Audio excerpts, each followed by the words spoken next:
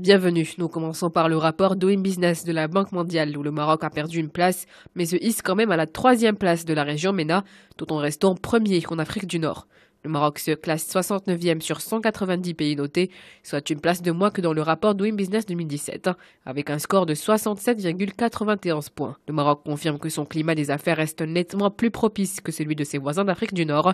La Tunisie se classe en effet 88e, l'Égypte 128e, tandis que l'Algérie est classée 166e. Le Maroc parvient également à se hisser au troisième rang parmi les pays du MENA, derrière les Émirats arabes unis et le Bahreïn, et devance pour la première fois le Sultanat d'Oman. Au niveau continental, le Maroc a maintenu sa troisième place derrière l'île Maurice et le Rwanda.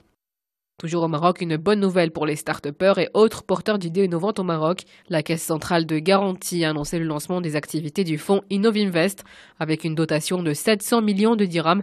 Le fonds aura pour principal objectif d'accompagner les start-up innovantes en leur garantissant des financements. Ce fonds devrait financer près de 100 entreprises pour la composante et environ 300 porteurs de projets. Le directeur général de la Caisse centrale de garantie explique que l'Innovinvest constitue une réponse de l'État pour réduire le gap de financement qui existe sur le financement du marché des startups au Maroc, surtout que cette catégorie d'entreprises a du mal à lever des ressources vu le caractère innovant de leur modèle économique qui est différent du modèle économique éprouvé que le marché connaît Surtout que le financement classique n'est pas outillé compte tenu du grand niveau de risque lié au modèle économique de ce type d'entreprise. Cette initiative a nécessité une enveloppe budgétaire de 700 millions de dirhams, dont 300 millions de dirhams fournis par la Caisse centrale de garantie, tandis que les 400 millions de dirhams proviennent d'investisseurs nationaux et internationaux. Un autre fonds d'aide, celui de l'Union européenne. Le président du Parlement européen, Antonio Tajani, a appelé à un plan Marshall pour l'Afrique. Il a aussi annoncé son intention de mobiliser 40 milliards d'euros dans le prochain budget européen pour la période 2020-2026. L'Europe doit choisir un vrai plan Marshall pour l'Afrique, c'est-à-dire faire des investissements. Ce n'est pas un cadeau, a-t-il ensuite fait valoir devant la presse. L'objectif de ce plan sera de bâtir des infrastructures, aider les petites et moyennes entreprises et faire des jeunes Africains des entrepreneurs. Il faut aussi se battre pour réduire le chômage des jeunes. C'est notre priorité pour lutter contre les tentations de la migration clandestine ou de la radicalisation, a-t-il expliqué. Le dirigeant a aussi souligné la volonté européenne de ne pas laisser le développement de l'Afrique à une Chine qui, je cite, n'a pas la même conception que nous du respect de l'environnement, des valeurs démocratiques.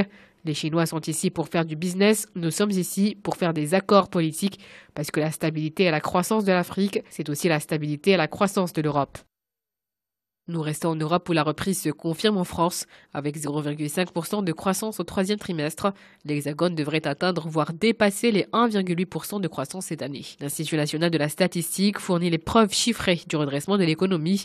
La France enregistre son quatrième trimestre consécutif de croissance et c'est une prouesse. Il faut remonter à 2011 pour retrouver un tel élan. Le pays a donc entamé un cycle durable de croissance et sur toute l'année, il peut miser sur 1,7% de croissance. La consommation des ménages est repartie de plus belle, le moral des chefs d'entreprise est au plus haut et ils ont retrouvé des marges pour investir. Et il y a une donnée encore plus parlante pour les entreprises, leur durée de vie qui s'allonge. Le nombre des faillites est en repli constant, ce chiffre est à son plus bas niveau depuis 10 ans et le chômage recule lui aussi. Mais si la sortie de crise est une réalité pour la quasi-totalité des pays européens, c'est moins vrai pour leurs voisins Proche-Orient. L'année 2017 a été une mauvaise année au Moyen-Orient.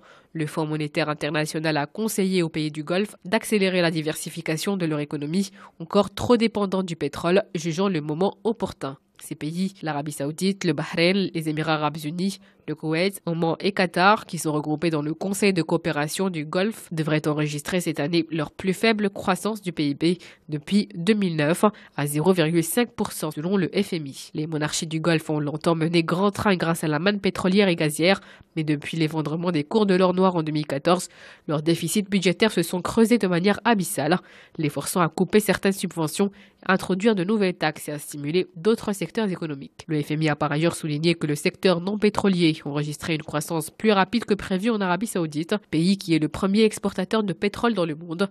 La croissance de cette première économie du Moyen-Orient et d'Afrique du Nord sera quasiment nulle cette année.